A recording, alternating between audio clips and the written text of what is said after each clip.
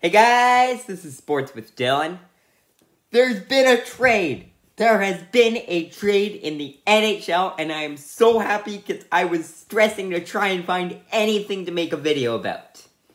Kevin Fiala, the Minnesota Wild forward, was traded to the Los Angeles Kings.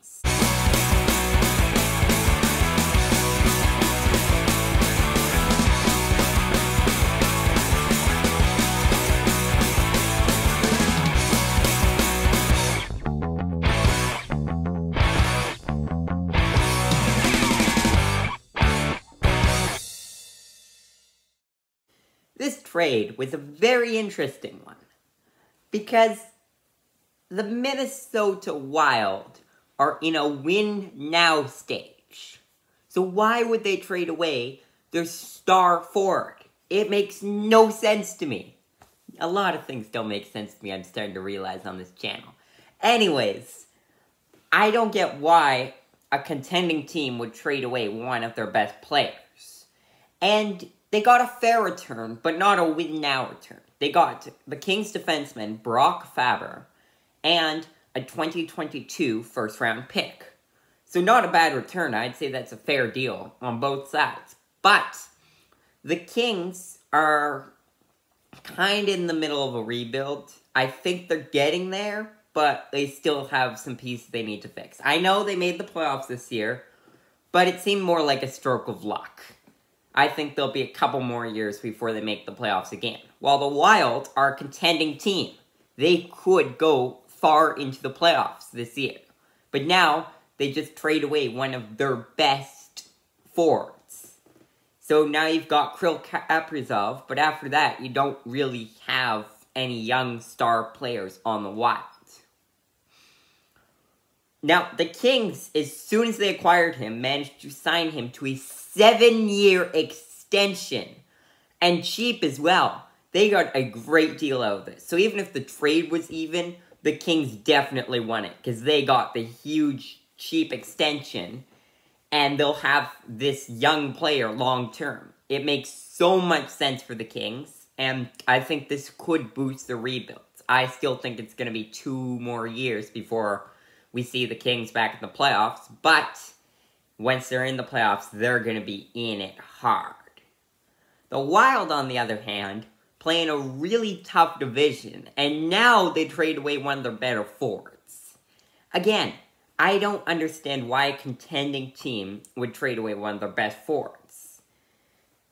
But, for some reason, they did. I'm starting to think something might be up with Kevin Fiala, some locker room issues because he was traded from the Predators to the Wild a couple years ago. Now, that was a fair deal. It was just involving two players, so there's no evidence of it just being locker room troubles.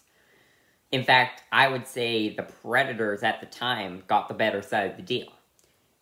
Now, though, the Wilds have traded away him again. And that's when it starts to get suspicious. When a player that seems to be playing great and is in a good situation is traded away a couple of times, that's when it starts to get suspicious about some locker room issues. I'm not sure though, because the Kings had a huge extension lined up. They didn't even seem to try and interview him or anything. So I think they knew he's a stable presence in the locker room. So that brings me back to the question. Why would the Wild, a contending team, trade away one of their best players? It stumped me. I do not know. But the Wild will be an interesting team now this free agency because either they're going to go back into out of the playoffs and a couple more years of misery despite having Kirill Kaprizov, or they'll make some big, big signings this offseason. I mean, it's possible the Predators have offered a deal to Filip Forsberg, but there's been no signing yet. And Johnny Gaudreau hasn't been offered a deal, as far as I know, which means either of those players could go on the market and the Wild could go to sign them. Which would make sense, because then they'd be clearing up more cap space. But it'd make even more sense to just hold on to Kevin Fiala until they got one of those players. So then you can make sure, because maybe the deal falls through right before they sign them, and then now they're out. They lost on their big bet. So it would make sense to hold on to him. At the same time, to make this more complicated for you guys, the draft in the NHL comes before free agency, which means if they want a draft pick this year desperately, then they may have just went all in. And that's possible what it was. They really wanted a player this year and still do want him. So they figure the Kings draft pick's going to get him, which means might as well trade a player for him. But most players in the NHL take a couple of years before they can actually make it to the NHL. And then even in the NHL, normally Kirill Kaprizov's obviously an exception, but normally takes a couple years in the NHL to become a superstar. Now, obviously, like I said, there are exceptions. Kirill Kaprizov, Connor McDavid. There's plenty of players, Patrick Kane, that have just gone on fire off the baton. But plenty that haven't. So I'm not sure if it would be the smartest idea for contender to put all their eggs in the basket of a player that might not play for a couple years, and even then isn't necessarily going to play very well.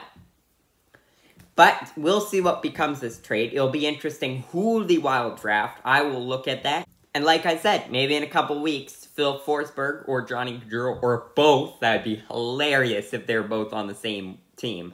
But I highly doubt that's going to happen. Anyways, it's possible that either of them are on the Wild a couple weeks' time. So, we'll have to just keep our eyes open and you will see a video on it.